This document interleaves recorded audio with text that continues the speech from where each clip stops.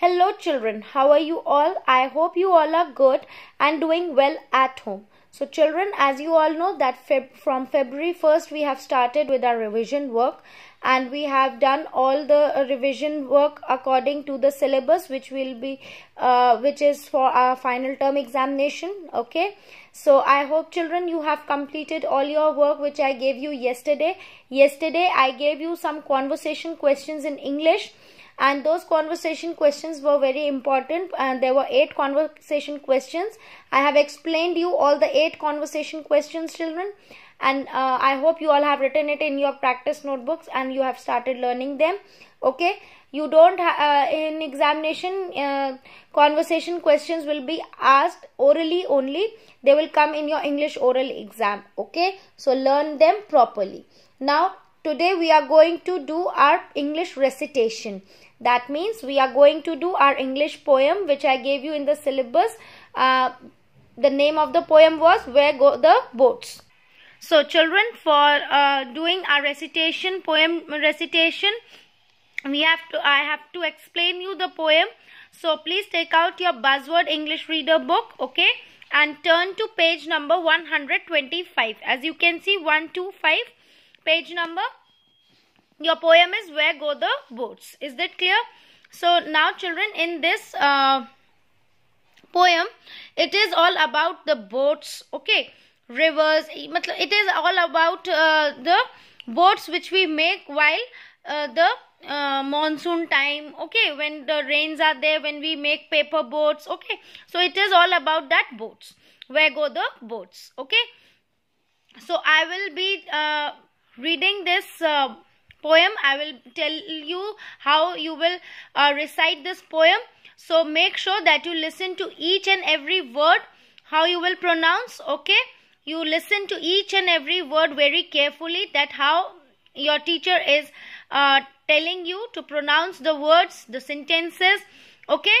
And how to express the sentence. Clear to you all so when you will listen to it very carefully, then only you will be able to recite the poem in the same manner as your teacher will be reciting. Okay. So for that, uh, I, I hope you all are ready for it. So let's get started with our poem. So how you will be starting it? First of all, when you in the exam, when you will, um, when I will ask you to recite a poem, then you will first of all put your hands at the back, okay, and then you will uh, just tell the topic of the uh, poem that is where go the boats. Clear?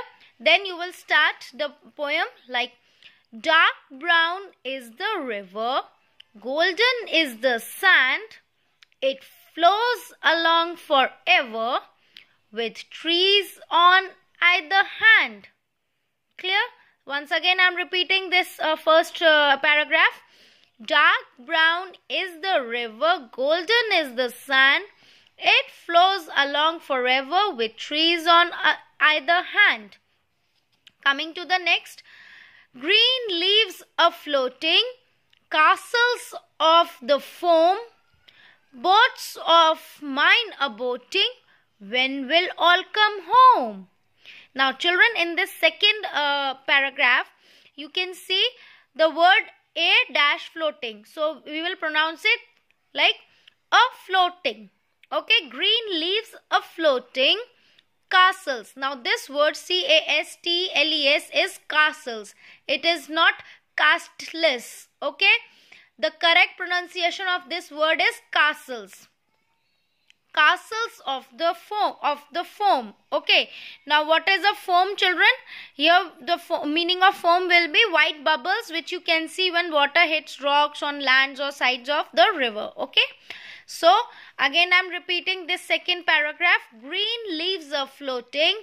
Castles of the foam boats of mine are boating when will all come home now here one child is uh, reciting this poem and he's say, he's asking that when will all come home जो हमारी boats हैं वो घर वापस कब आएंगे okay now coming to the third paragraph on goes the river and out past the mill away down the valley away down the hill clear Once again, listen to it carefully. On goes the river and out past the mill, away down the valley, away down the hill.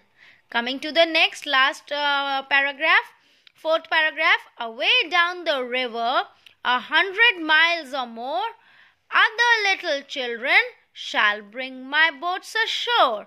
Now, what is a ashore, children? On the land near a river. Okay, ashore means कोई भी river का जो side होता है. Clear? So that is known as a shore. Clear to you all children? So I hope you all have understood how you will pronounce these words and how you will recite this poem. So children, once again I am telling you the whole poem. Okay, I am uh, uh, just reciting this whole poem. Uh, in a sequence so please make sure that you listen to it very carefully and in the same manner you will be uh, learning this poem at home okay so Let's get started. Where go the boats? Dark brown is the river, golden is the sand. It flows along forever with trees on either hand. Green leaves are floating, castles of the foam, boats of mine are boating. When will all come home? On goes the river and out past the mill. Away down the valley away down the hill, away down the river, a hundred miles or more, other little children shall bring my boats ashore. Is that clear to you all children? I hope you all have understood that how you will pronounce all the difficult words and how you will um, recite this poem. Very easy and this poem is also very small. It is very easy so you can learn it. Okay. Half half you can learn it so that uh, you will be not burdened a lot. Okay.